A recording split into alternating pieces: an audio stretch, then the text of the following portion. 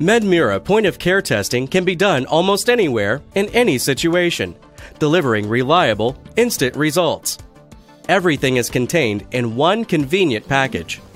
Unlike lateral flow, which can take 10 to 40 minutes to deliver a result, MedMira's rapid vertical flow technology uses the law of gravity to accelerate the process, delivering results instantly. To start, add 5 drops of universal buffer to the sample vial. Clean and massage the finger to promote blood flow and puncture the skin using the single use lancet. The pipette will automatically fill with the correct amount of blood. Empty the pipette into the sample vial containing the buffer and gently tap until the mixture is a transparent and uniform color. Pour the contents into the cartridge.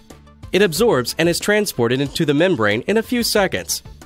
Then, place the blue cap on top and use the rest of the universal buffer. Once absorbed, you can remove the blue cap. The remaining buffer will be absorbed quickly, and then you can read the results instantly.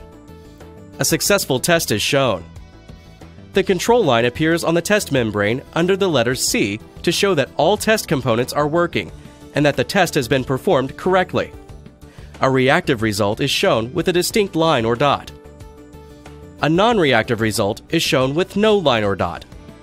This innovative technology platform allows the detection of multiple targets with just one drop of specimen on a single test cartridge. One test, more answers.